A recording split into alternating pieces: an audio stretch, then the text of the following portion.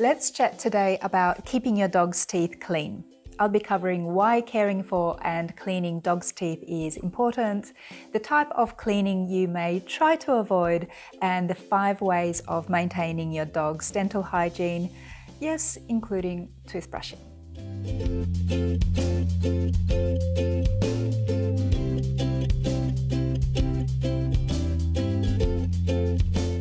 Hi and welcome or welcome back to my Golden Doodle Diary. I'm Joanna and I'm here with my sweet Golden Doodle dog, Sophie.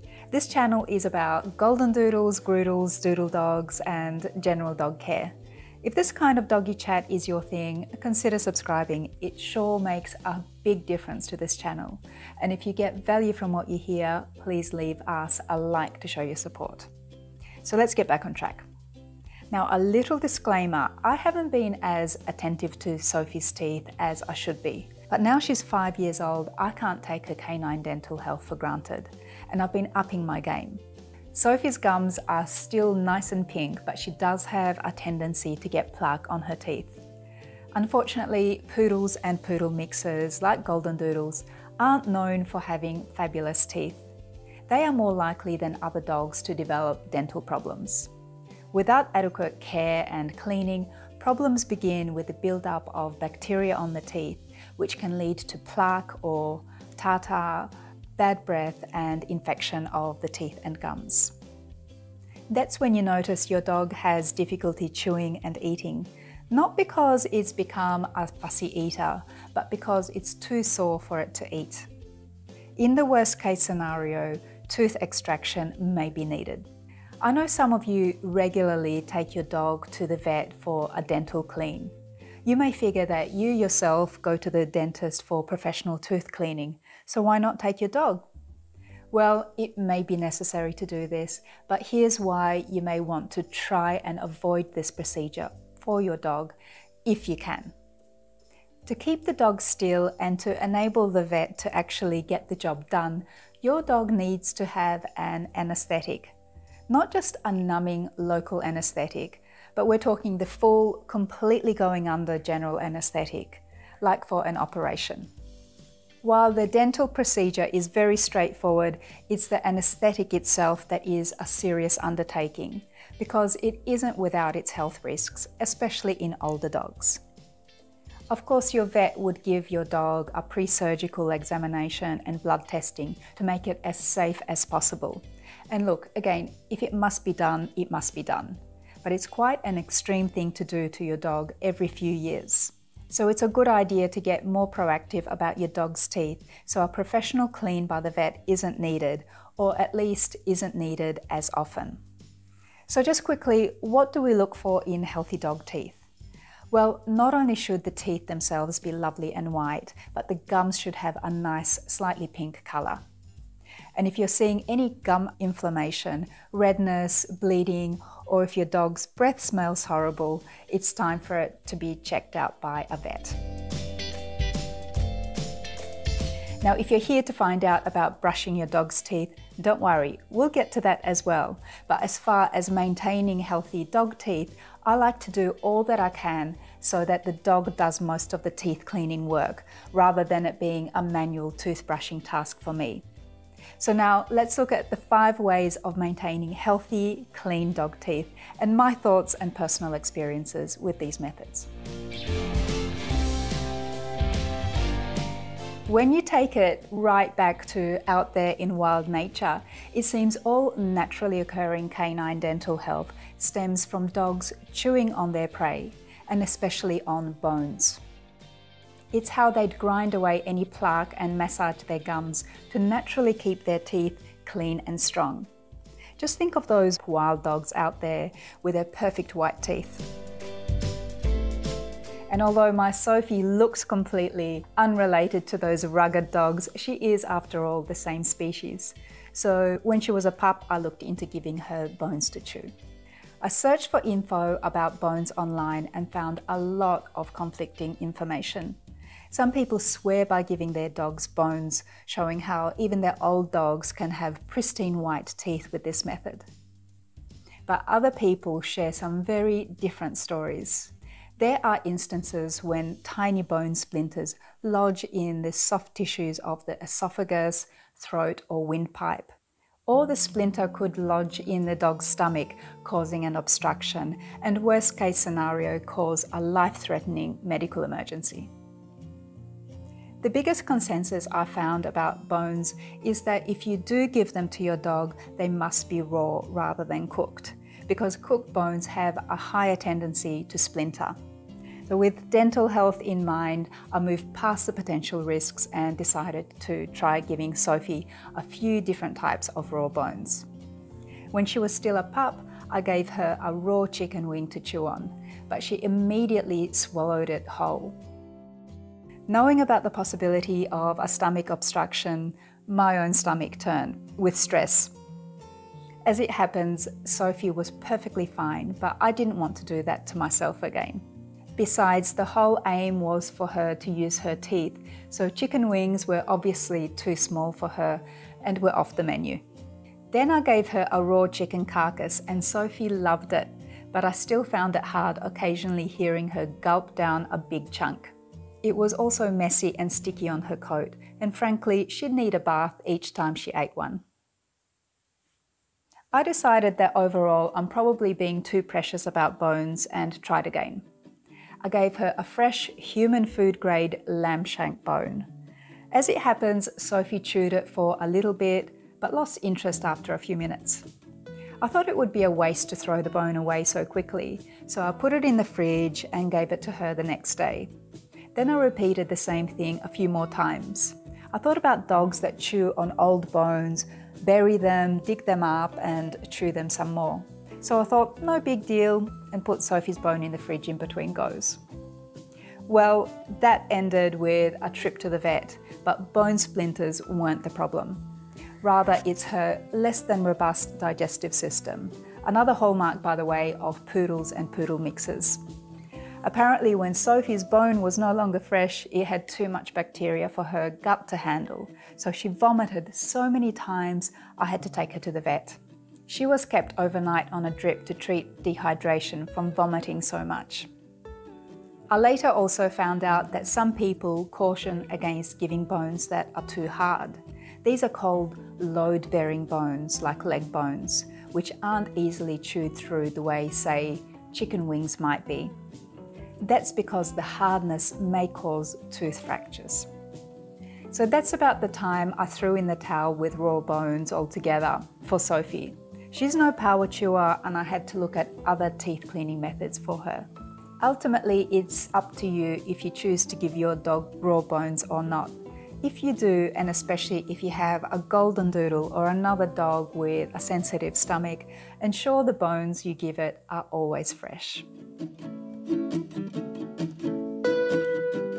Luckily, Sophie is food orientated, so I decided to give her maximum crunch opportunities in her daily food intake. This is another passive way, from the point of view of the owner, of cleaning dog's teeth. I feed her premium dry dog kibble with the crunchiest vegetable I can think of carrot. This is a pretty good combination for her and is her staple diet. And as it happens, the crunchy carrot does make a big difference to her dental health. One time when carrots weren't available for a few weeks, I noticed she was getting awful breath. And when I reintroduced the carrot soon after, the bad breath went away. Giving your dog food chews is another powerful method of cleaning dog's teeth. Self-cleaning, of course. If your dog isn't particularly enthused about bones or chew toys, but is food orientated, this is another good possibility, and it's generally cleaner than a meaty bone. There are two main subtypes of food chews. The first is dried food chews, such as pig's ears and hocks and dehydrated bones, or for smaller dogs, bully sticks. Think of relatively big, chunky things that take a while for the dog to chew through, so it can help remove any plaque buildup on the teeth and massage your dog's gums in the process. Because they are dried, these food chews are quite hard. From researching these though, there is potentially a risk of the dog biting off and swallowing a big sharp bit that may get lodged in its system, just like bone splinters.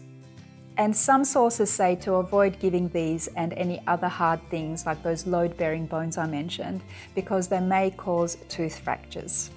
And again, people who have given their dogs dried food chews for years and years will swear by them and others will talk about those unfortunate occasions when bits got lodged. Now, the other type of food chews is dental chews. These are relatively softer than the hard dry food chews. They contain formulations that don't rely so much on the mechanical action of scraping off plaque. The idea is that the dog bites into the soft dental chew and this coats its teeth with the formulation. It's this that reduces plaque and tartar buildup, helps maintain healthy gums and freshens the dog's breath. What's been my experience with these for Sophie? At one time I was giving her a dental chew every day. Even though I gave the largest size chew available, she only bit it a few times and swallowed the rest. So I don't think there was much chance of her teeth being coated. And because the chews I gave her were green, well, afterwards, let's say there was green poop coming out the other end. So I just stepped back from giving them. But again, you make your choice about what you give to your dog and how your dog reacts to it. The other alternative to bones is chew toys or dental toys. These are typically rubber or nylon toys infused with food smells such as chicken or beef to make them more appealing. Here you're in luck if your dog is a power chewer. You may not see it that way if your dog chews destructively on things around your house. But if you can manage through repetitive training to redirect your dog's attention to focus on dental chew toys, you've got your dog cleaning its own teeth. As for Sophie, she never had much of a tendency to chew on anything that wasn't food after she got her adult teeth. It may not look like much, but this footage is actually quite rare for Sophie. Here she is chewing the nylon bone she's mostly ignored since she was a pup. Before I go on with the last dog tooth cleaning method, if you found this video useful so far, please take a second to give it a thumbs up to help this channel. As far as I'm concerned, if you can manage to use only the previous four methods for cleaning your dog's teeth and keeping them healthy, that's ideal. As if golden doodles weren't already high maintenance enough what with those coats, toothbrushing is just another chore and another eye-rolling thing your dog puts up with. But in Sophie's case, she does need extra help. So we incorporate dog toothbrushing into her routine. She's never thrilled about it, but she does put up with it. As with everything in dog care, nail clipping, ear cleaning, hair trimming, the biggest challenge up front is familiarizing the dog with the activity, effectively another layer of dog training. Little by little, get your dog used to having a toothbrush in its mouth, brushing lightly against its teeth and gums. Associate it with plenty of praise and a nice flavour. Start with very short sessions, a few seconds long, and progress gradually. The toothbrush needn't be a special toothbrush just for dogs. I just use one of my old ones for Sophie. It has soft bristles that gently massage her gums. The long handle gives good access to the hard to reach spots. Use the toothbrush you find easiest to use and that suits the size of your dog's mouth. If you like, you can also get a finger toothbrush, a finger pad or other implements from the pet store. But I still think that familiarizing your dog with the sensation of having their teeth brushed is the most important because granted, toothbrushing feels a bit weird for them at the start. The actual type of toothbrush or implement you use probably isn't that vital. As for the toothpaste, I once bought a commercial chicken flavored dog toothpaste but surprisingly, Sophie didn't like it one bit. I thought she hated the toothbrushing itself, but it was the toothpaste she rejected. So there's a tip right there. With a food orientated dog like Sophie, I now take it as an opportunity to give her dietary supplements on her toothbrush. You could also create your own version of dog toothpaste. Just mix half a teaspoon of coconut oil and a teaspoon of baking soda or bicarb soda. What I do is wet the toothbrush and dip it in a bit of dried kelp or the coconut oil paste. Sophie registers this as enough of a food reward to put up with the toothbrushing. The actual toothbrushing technique is essentially the same as brushing your own teeth. Just don't forget to brush on the insides of the teeth as well as on the outsides. And even when your dog does get used to toothbrushing, give it a few pauses in between brushing sessions, the way your dentist does with you. So as you can see, you need to weigh up the risks and benefits of all these methods, and you need to see how your particular dog reacts too. The reality is, if you are not proactive about these things, your dog is much more likely to get bad teeth. If you'd like more tips on golden doodles and dog care in general, have a look at the videos on the screen.